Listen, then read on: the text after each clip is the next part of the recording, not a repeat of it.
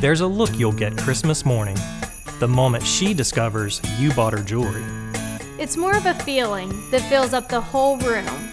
Jewelry does the talking for you. It screams, I love you, I appreciate you, and I'd do it all over again in a heartbeat. If you're not good with words, jewelry will show just how you feel. When the perfect words are hard to come by, the purple box is all you need. Because the jewelry says it all.